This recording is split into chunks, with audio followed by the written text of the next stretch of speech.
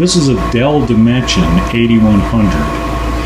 And you probably can see the little model number right there. I've actually got it uh, on my bed because there's good lighting here and I can show you how to get the cover off. A lot of people don't know how to get the cover off. A lot of these uh, Dells have a little button or something around the back and they just slide out here.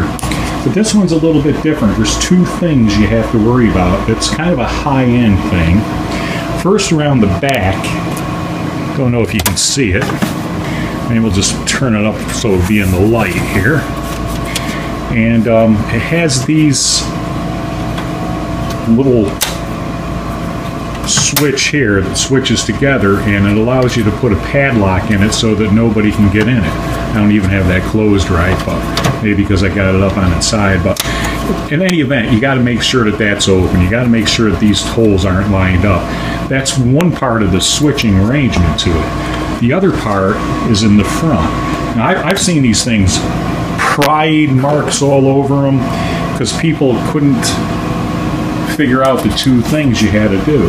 The other one is right down here toward the bottom. The bed is actually in the way, but there's a little button right down here, and you just push it. And it seems to stay in for you. Then you can uh, take this. I don't care much about the computer, it's mine. And you can uh, try to do this with one hand. And I got this button pushed in, and then I'm going to take it, just lift it up with my other hand, and there you go. You can see two hard drives in there. And that's it. When you close it again, put it in in the top, let it close, lock that thing up, and again, you'd have to get your screwdrivers out and try to pry that because it won't come apart. But with this thing down, this button in, just simply take your other hand. I don't have a free hand, so I have to uh, do it with my camera hand.